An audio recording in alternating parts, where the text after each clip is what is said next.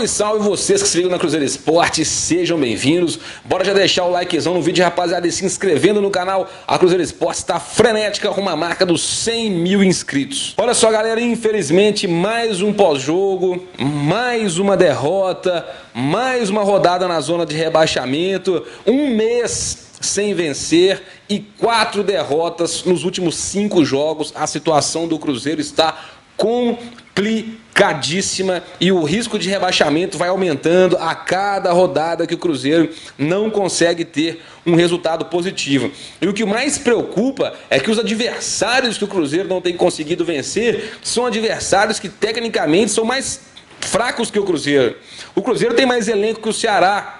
O Cruzeiro tem mais elenco que o Goiás e não conseguiu vencer nenhum desses dois jogos e agora tem dois jogos em casa. Um contra o Internacional, que está brigando lá em cima, na parte de cima da tabela, e outro contra o Fluminense, que é um concorrente direto contra o rebaixamento. A situação não está absolutamente nada boa, completamente desfavorável. E nesse jogo contra o Goiás, nós tivemos a estreia do técnico Abel Braga pelo Cruzeiro e ele escalou o time dessa forma: Fábio Orejuela na direita, a dupla de zaga formada por Dedé e Fabrício Bruno com Egídio na esquerda, Ederson e Henrique sendo mantidos ali ao meio campo e os três meias, Robinho, Thiago Neves e David com o Sassá fechando o comando de ataque do Cruzeiro, já que o Fred estava suspenso pelo terceiro cartão amarelo. Ele retorna no sábado contra o Internacional no Mineirão e o Cruzeiro não terá para esse jogo o capitão Henrique, que também foi suspenso pelo terceiro cartão amarelo. Sobre as opções que o Abel Braga colocou ali no time titular do Cruzeiro, eu até que não discordo dele pelo seguinte: primeiro, que a gente já sabe que a relação dele com o Thiago Neves, o próprio Thiago Neves já disse que é, que é o melhor treinador que ele já trabalhou, que é um pai para ele, o Abel Braga. Então ali entrou o Thiago Neves, entrou o Robinho e entrou o Dedé. E desses jogadores, vamos dizer assim, né, que, que cobram e, e, e pleiteiam que os seus amigos ou que aqueles jogadores que eles dizem ser importantes não podem ser afastados, que tem que recuperar o futebol deles.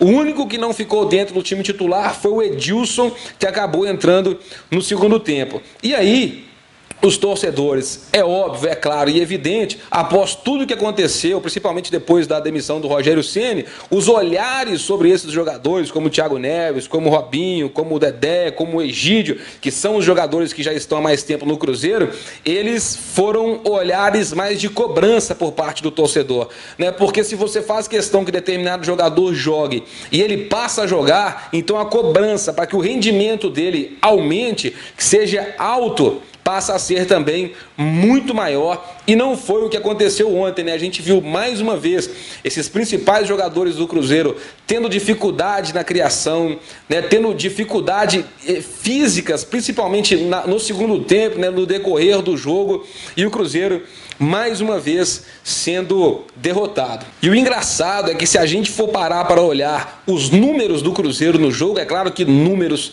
não são resultados, mas os números mostram que o Cruzeiro foi melhor do que o Goiás. O Cruzeiro teve mais posse de bola jogando fora de casa, foram 62%. O Cruzeiro finalizou mais do que a equipe do Goiás, foram nove finalizações do Cruzeiro. O Cruzeiro teve mais, é, mais passes trocados, foram 417 passes.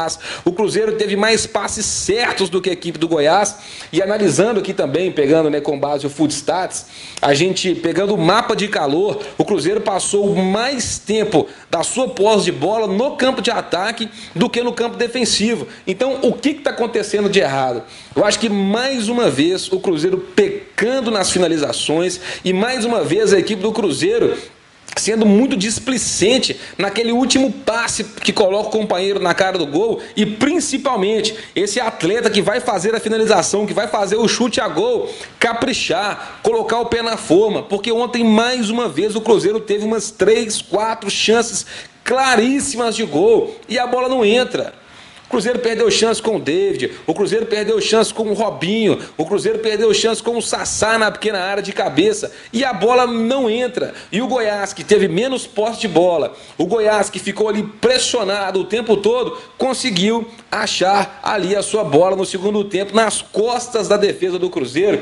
Inclusive, nós até temos a imagem aqui, porque é uma coisa absurda. Vamos colocar aqui na tela, não sei se está dando para vocês acompanharem exatamente a imagem. Vou tirar um print, vou colocar aqui na tela agora. O Goiás vem numa jogada ali pelo lado direito e vocês reparem que o Dedé dando condição para o Ruschel e o Edilson ali totalmente perdido, não marcando ninguém. Né? Eu acho que essa responsabilidade dessa marcação ali, ela fica dividida entre o Dedé e o Edilson. Talvez um pouco mais ainda para o Edilson, que deveria estar acompanhando ali o Alan Ruschel. E, e, são justamente os jogadores né, que questionaram um a presença do outro, colaborando para que o jogador do Goiás estivesse em, em posição totalmente livre para poder fazer o gol. E aí, coitado do Fábio, não teve o que fazer naquele exato momento. Aí o Cruzeiro perde mais um jogo, o Cruzeiro continua na zona de rebaixamento. E o que me preocupa é o seguinte: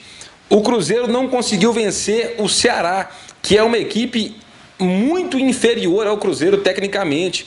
O Cruzeiro não conseguiu vencer o Goiás, que é uma equipe muito inferior ao Cruzeiro tecnicamente e vem de três vitórias seguidas.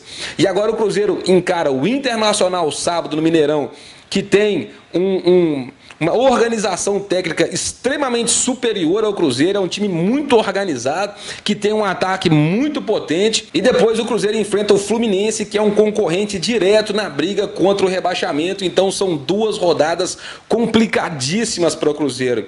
Né? Inclusive estudiosos aí lá da UFMG, matemáticos, já calcularam aí, soltaram que hoje o risco de rebaixamento do Cruzeiro já ultrapassa a marca dos 60%. Então não dá mais para o Cruzeiro ficar nessa ah, porque nós estamos trabalhando. Ah, porque nós estamos tentando. Olha, esse discurso tem que acabar. O Cruzeiro precisa vencer. Não importa hoje se o time vai jogar bem, se o time vai jogar mal, se as oportunidades serão criadas, se não serão criadas, se o sistema defensivo vai bem ou se o ataque vai mal. O Cruzeiro precisa urgentemente dos três pontos. E isso não acontece já há cinco rodadas.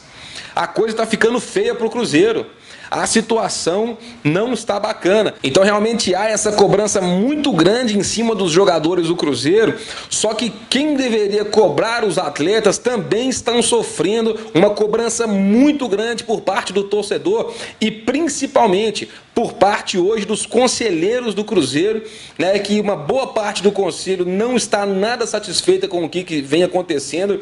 E essa feijoada, onde o presidente acabou comparando o Cruzeiro a um bagaço de uma laranja, parece ter sido a gota d'água. Inclusive, o presidente do Conselho Deliberativo do Cruzeiro, Zezé Perrella, está mobilizando uma votação em voto aberto para que a diretoria do Cruzeiro, Wagner Pires de Sá, e os seus diretores sejam afastados e outras pessoas sejam sejam colocados no lugar para que o Cruzeiro possa sair da sua maior crise institucional da sua história. Inclusive, essa votação será em voto aberto, justamente para que os conselheiros e os torcedores do Cruzeiro possam saber quem é quem e de que lado estão cada um, já que a situação do Cruzeiro é gravíssima. O time se representa hoje à tarde na Toca da Raposa para iniciar a preparação para encarar o Internacional. Até então, a única baixa é o capitão Henrique e o Cruzeiro precisa vencer. O Cruzeiro precisa vencer, gente. A situação é delicadíssima, a situação é séria, a situação é grave. O Cruzeiro hoje vive sim uma briga drástica contra o rebaixamento. E o principal problema que eu vejo nisso tudo é que o, o Cruzeiro hoje vive dois problemas. Um é dentro de campo e o outro é extra-campo. E as duas coisas se relacionam sempre puxando o Cruzeiro para baixo.